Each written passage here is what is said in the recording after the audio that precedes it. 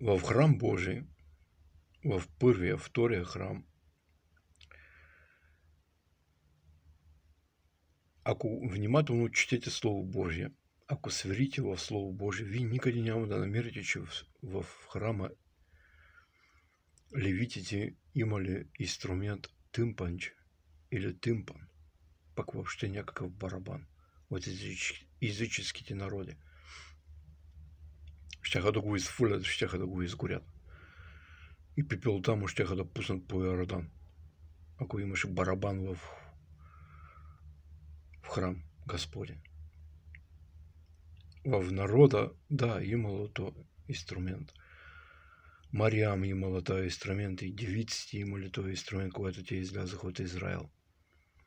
Но в скинята левитите нямали такъв инструмент. Нито в храма.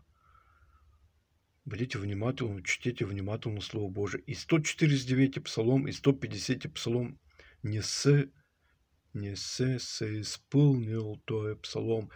Защото има и 148 псалом преди това. И трябва, във вас трябва да се изпълни този 148 псалом. Тогава ще видите, че това състояние съвсем е друго на 149 и на 150 псалом.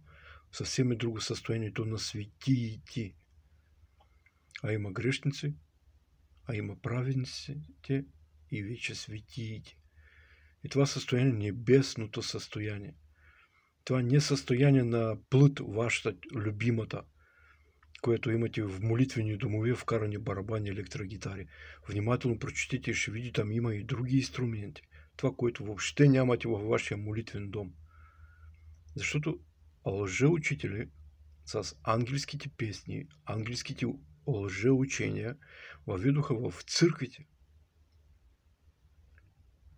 и оправдават с тези свещени писания 149-150 псалом, оправдават своето учение, утвърждават своето учение. Но вие ако внимателно прочитате за храм, Давид с Нафан, с пророци, защо не въведоха со священници, защо не въведоха тимпан в священнослужение – защо свещеници в свято святие не влизаха со стая музыка на тимпаните. Прочитайте внимательно Слово Божие, исследуйте Слово Божие, не будете слепи с те рок-концерте на языческие обряды оккультные, спиритические, сатанинские, на преисподней ада музыка-то.